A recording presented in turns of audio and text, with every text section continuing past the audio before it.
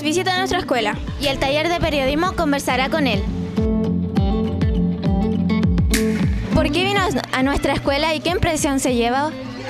Vine a visitar hoy día la Escuela Alborada para entrevistarme con el director con la finalidad de ver qué proyectos podemos desarrollar para los próximos tres años aquí en la Escuela Alborada.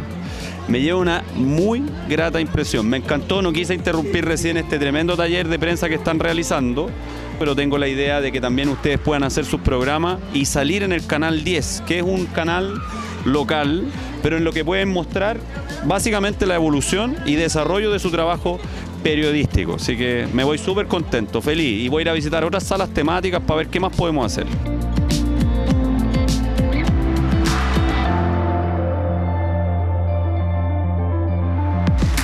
¿Qué significa para nuestra escuela la visita del alcalde? Hoy recibimos su visita de manera inesperada, sin aviso.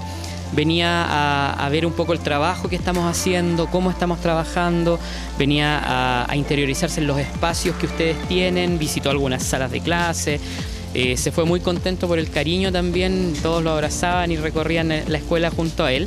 Así que él hoy día vino de improviso, nos visitó, eh, revisó, opinó y se fue muy contento.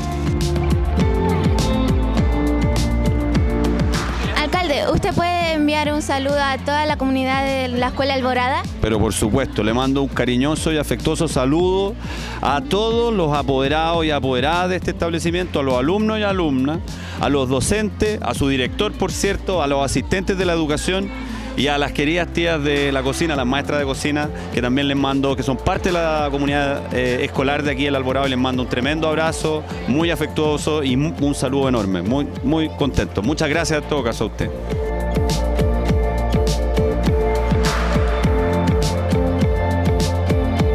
Y esa fue la visita del alcalde de nuestra escuela, Laura Ávila y Gabriela Díaz del taller de periodismo.